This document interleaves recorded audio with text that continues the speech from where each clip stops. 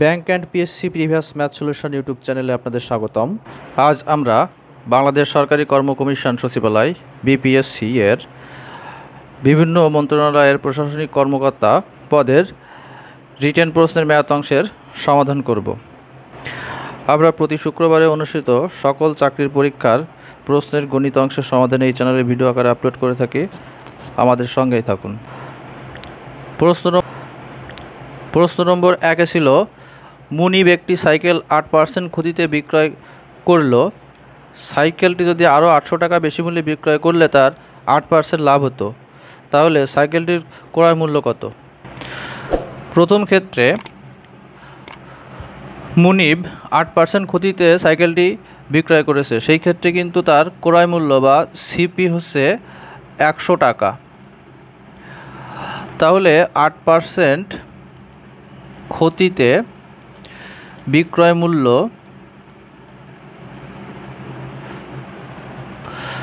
সমান সমান একশো বিয়োগ আট সমান সমান বিরানব্বই টাকা। আবার পরের ক্ষেত্রে কিন্তু সে আট পার্সেন্ট লাভে বিক্রয় করবে, সেই ক্ষেত্রে আট পার্সেন্ট লাভে বিক্রয় মূল্য একশো যোগ আট সমান সমান একশো আট টাকা। এখন একবার ক্ষতি একবার লাভ হয়েছে, সেই ক্ষেত্রে বিক্রয় মূল্যের পার্থক্য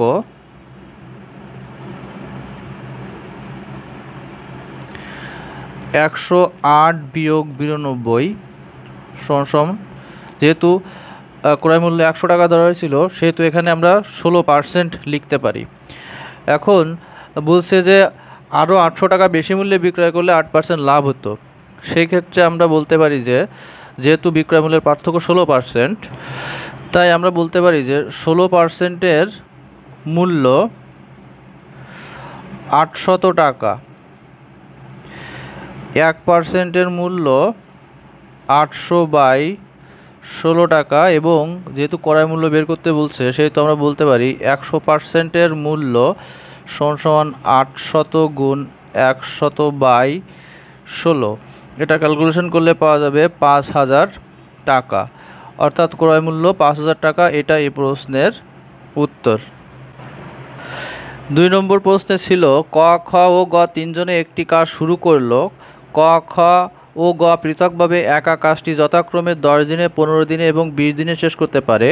কাজটি শুরু হওয়ার তিন দিন পর ক চলে গেল। সম্পূর্ণ কাজ কতদিনে শেষ হবে?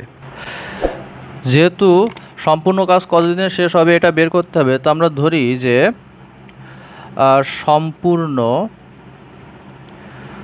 কাজ শেষ হবে এক্স দিনে। তাহলে এখানে কিন্তু ক, খ এবং গ, এরা তিনজন কাজ করেছে। তাহলে এখানে বলছে যে কাজ শুরু তিন দিন পর ক চলে গেল। তাহলে টোটাল কাজটা যদি এক্স দিনে শেষ হয় এবং কাজ শুরু হওয়ার তিন দিন পর যদি ক চলে যায়, তাহলে ক কাজ করছে কিন্তু এক্স মাইনাস তিন দিন। আর খ পুরো কাজটা করছে, অর্থাৎ এক্স দিনে কাজ করছে এবং গও এক্স দিন পর্যন্ত কাজ করছে। তাহলে আমরা কিন্তু সরাসরি প্রশ্ন মতে লিখতে পারি যে ক দশ দিনে সম্পূর্ণ একটি কাজ করতে পারে। তাহলে একদিনে করতে পারে এক বাই দশ অংশ, আর এক্স মাইনাস তিন দিনে করতে পারে এত অংশ কাজ। প্লাস গ যেহেতু পনেরো দিনে একটি কাজ করতে পারে, তাহলে একদিনে করতে পারে এক বাই পনেরো অংশ এবং এক্স দিনে করতে পারে এক্স বাই পনেরো অংশ কাজ। আবার গ বিশ দিনে করতে পারে একটি কাজ একদিনে করতে পারে এক বাই বিশ অংশ কাজ, তাহলে এক্স দিনে করতে পারে এক্স বাই বিশ অংশ কাজ। যেহেতু তিনজন মিলে এই কাজটি শেষ করেছে, সেহেতু এই তিনজন সম্পূর্ণ কাজ শেষ করেছে বলে আমরা লিখতে পারি এক অংশ কাজ। তাহলে এইগুলো যোগফল সমান এক অংশ বা সম্পূর্ণ অংশ কাজ। তো এটা যদি আমরা ক্যালকুলেশন করি, তাহলে এখানে লসাগু হবে ষাট। এখানে পাওয়া যাবে ছয় এক্স মাইনাস আঠারো প্লাস চার এক্স প্লাস তিন এক্স সমান সমান এক। বা এখানে এটা যোগ করলে পাওয়া যাবে তেরো এক্স মাইনাস আঠারো আর সাথে ষাট গুণ করলে ষাট বা তেরো এক্স সমান সমান আঠারো, এই পাশে যে ষাটের সাথে যোগ হলে হয় আটাত্তর বা এক সমান সমান সমান আটাত্তর বাই তেরো সমান সমান ছয়। যেহেতু সম্পূর্ণ কাজ শেষ হবে এক্স দিনে ধরা হয়েছিল এক্সের মান ছয়, অর্থাৎ আমরা বলতে পারি ছয় দিনে ওই কাজটি শেষ হয়েছিল। ছয় দিন হচ্ছে এই প্রশ্নের উত্তর। তিন নম্বর প্রশ্ন ছিল একটি ত্রিভুজের পরিসীমা ছত্রিশ সেন্টিমিটার। বাহুগুলোর অনুপাত তিন ইস্টু চার ইস্টু পাঁচ হলে ত্রিভুজটির ক্ষেত্রফল নির্ণয় করুন। এরপর বলছে ত্রিভুজটির প্রত্যেক বাহুর দৈর্ঘ্য দুই সেন্টিমিটার বৃদ্ধি করা হলে পূর্বের এবং পরের ত্রিভুজের ক্ষেত্রফলের পার্থক্য নির্ণয় করুন। যেহেতু ত্রিভুজের বাহুগুলোর অনুপাত দেওয়া আছে, সেহেতু আমরা ধরতে পারি যে ধরি ত্রিভুজের বাহুগুলোর দৈর্ঘ্য যথাক্রমে, যেহেতু থ্রি এক্স পরে আছে ফোর তাহলে ফোর এক্স এবং ফাইভ এক্স তাহলে আমরা জানি ত্রিভুজের পরিসীমা সমান সমান ত্রিভুজের বাহুগুলোর সমষ্টি। অর্থাৎ three x plus four x plus five x পরিসীমা দেওয়া আছে ছত্রিশ, সমান সমান আমরা ছত্রিশ লিখতে পারি।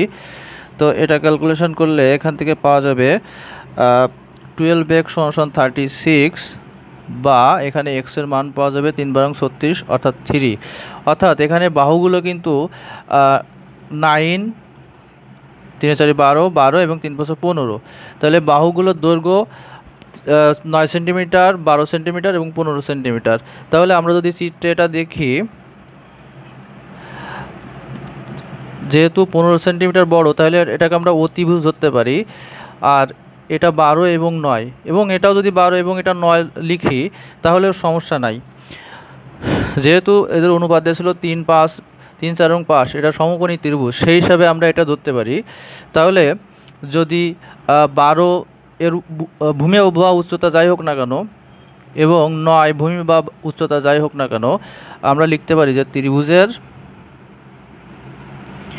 ক্ষেত্রফল সমান সমান হাফ ইন্টু ভূমি গুণ উচ্চতা। তাহলে এখানে হাফ গুণ ভূমি যদি নয় ধরি বা নয়, এটা লেখা যাবে। তাহলে ছয় নং চুয়ান্ন সেন্টিমিটার স্কোয়ার বর্গ সেন্টিমিটার। এখন বলছে যে বাহুগুলো যদি দৈর্ঘ্য দুই মিটার করে বাড়ানো হয়, তাহলে এখানে দুই মিটার যদি বাড়ানো হয়, তাহলে এখানে পাওয়া যাবে সতেরো, এটা হবে ইলেভেন এটা হয়ে যাবে চোদ্দ। তাহলে সেই ক্ষেত্রে নতুন ক্ষেত্রফল নতুন ক্ষেত্রফল হবে হাফ ইন্টু ভূমি, অর্থাৎ ইলেভেন উচ্চতা চোদ্দ। তাহলে এটা হয়ে যাবে সাতাত্তর বর্গ সেন্টিমিটার। এখন আমাদের উত্তর চাওয়া হয়েছে যে, ত্রিভুজের ক্ষেত্রফলের পার্থক্য কত? তাহলে পার্থক্য দাঁড়াবে সাতাত্তর মাইনাস চুয়ান্ন সমান সমান টোয়েন্টি থ্রি সেন্টিমিটার স্কোয়ার তাহলে আমাদের উত্তর কিন্তু দুইটা আছে এসে যে প্রথম ক্ষেত্রে ত্রিভুজের ক্ষেত্রফল হচ্ছে চুয়ান্ন সেন্টিমিটার স্কোয়ার এবং তাদের পার্থক্য তেইশ সেন্টিমিটার বর্গ সেন্টিমিটার এটা এই প্রশ্নের উত্তর। চারের ক নম্বর প্রশ্নে ছিল four x to the power four plus twelve x cube plus seven x square minus three x minus two রাশিটিকে উৎপাদকে বিশ্লেষণ করুন।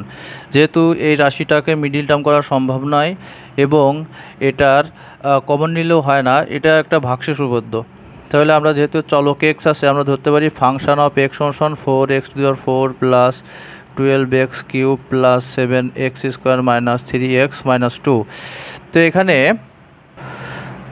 আমরা ফাংশন অফ এক্স এক্সের জায়গায় যদি মাইনাস ওয়ান ধরি, তাহলে এখান দ্বারায় four into minus one to the power four plus twelve into one to the power cube plus seven into minus one whole square minus three into minus one minus two অর্থাৎ এখানে এটা হিসাব করলে minus ওয়ানকে চারবার গুণ করলে plus one আসে অর্থাৎ এখানে ফোর এখানে আসে মাইনাস টুয়েলভ এখানে আছে সেভেন এখানে আছে থ্রি প্লাস টু সমান সমান ফোরটিন মাইনাস ফোরটিন সমান জিরো যেহেতু এক্স সমান সমান মাইনাস ওয়ান ধরে এবং এটার মান জিরো হয়েছে, তাহলে আমরা বলতে পারি এক্স প্লাস ওয়ান সমান জিরো হয়েছে যেহেতু, সেহেতু আমরা বলতে পারি x plus one function of এক্সের একটি উৎপাদক।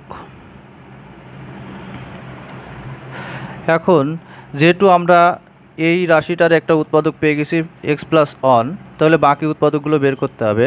তাহলে আমরা রাশিটা লিখি four x four plus twelve x cube plus seven x square minus three x minus two এটা গ্যাপ রেখে এখানে যেহেতু একটা উৎপাদক এক্স প্লাস অন পাওয়া গেছে এবং এক্সের মান ফোর তাহলে আমরা চারবার এক্স প্লাস অন লিখলাম।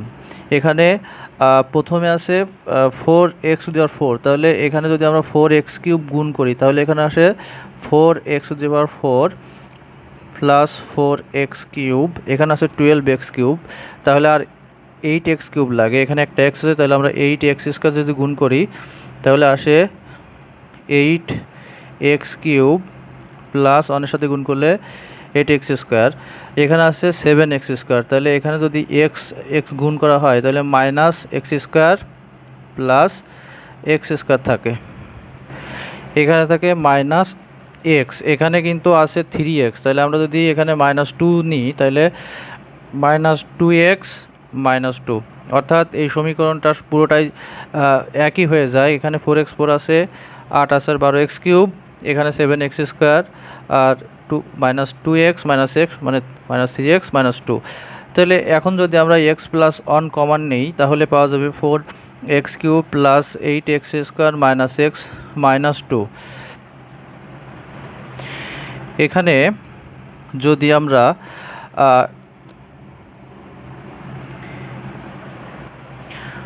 ফোর এক্স স্কোয়ার কমন নিই, তাহলে থাকে এক্স প্লাস টু এখানে মাইনাস ওয়ান কমন নিলে এক্স প্লাস টু থাকে। তাহলে এখান থেকে লিখতে পারি x plus one into x plus two যদি কমন নেওয়া হয়, তাহলে এখান থাকে four x square minus one তাহলে এখান থেকে আমরা আবার এক্স প্লাস ওয়ান সমান সমান, এখানে আছে এক্স প্লাস টু আর four x square two x square minus one x square one লিখলাম, তাহলে এখানে পাওয়া যায় x plus one x plus two আর স্কোয়ার মাইনাস বি স্কোয়ার মানে two x plus one into two x minus one এটাই এই answer চারের খ নম্বর প্রশ্নে আছে যে এ প্লাস বি সমান এইট এ মাইনাস বি সমান সমান ফোর হলে এ বি এর মান কত? তো আমরা জানি যে ফোর এ বি সমান a plus b whole square minus a minus b whole square বা এ বি সমান বা ফোর এ বি সমান এখানে মান বসাবো eight square minus four square বা এ বি সমান এখানে পাওয়া যাবে ফোর, এখানে হবে চৌষট্টি মাইনাস সিক্সটিন, অতএব এ বির মান পাওয়া যাবে এখান থেকে বিয়োগ করলে এটা আসে আটচল্লিশ আর নিচে ফোর সমান চার বারং আটচল্লিশ, অর্থাৎ বারো হচ্ছে এই প্রশ্নের উত্তর। পাঁচ নম্বর প্রশ্নে আছে যে, প্রমাণ করুন বৃত্তের কেন্দ্র থেকে ব্যাস ভিন্ন অন্য কোনো জ্যা এর উপর অঙ্কিত লম্ব ওই জ্যাকে সমদ্বিখণ্ডিত করে। মনে করি এ বি সি একটি বৃত্ত ও হচ্ছে বৃত্তের কেন্দ্র, আর এ বি হচ্ছে ব্যাস ভিন্ন একটি জ্যা। এখানে ওডি রেখা এ বি রেখার উপর লম্ব। এখন আমরা ও এবং ও বি যোগ করি। অঙ্ক অনুসারে বলা যায় যে ত্রিভুজ এ ডি এবং ত্রিভুজ বিওডি দুইটা সমকোণী ত্রিভুজ এবং তাদের অতিভুজ এও এবং বিও সমান। দুই যেহেতু বৃত্তস্থ দুইটি সমকোণী ত্রিভুজ হইলে কোণ দুইটি সমান হয় এবং অতিভুজ দুইটি সমান হয়। যেহেতু ত্রিভুজ দুইটি সমান, সেহেতু আমরা লিখতে পারি ত্রিভুজ এওডি এবং ত্রিভুজ বিওডি সর্বসম। যেহেতু ত্রিভুজ দুইটা সর্বসম, সেহেতু এডি এবং বিডি সমান।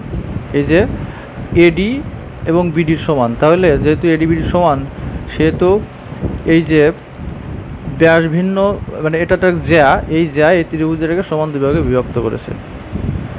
আমাদের ভিডিওটি যদি ভালো লেগে থাকে, তাহলে অবশ্যই আমাদের চ্যানেলটি সাবস্ক্রাইব করুন, লাইক, কমেন্ট এবং শেয়ার করুন। সবাই ভালো থাকবেন। ধন্যবাদ।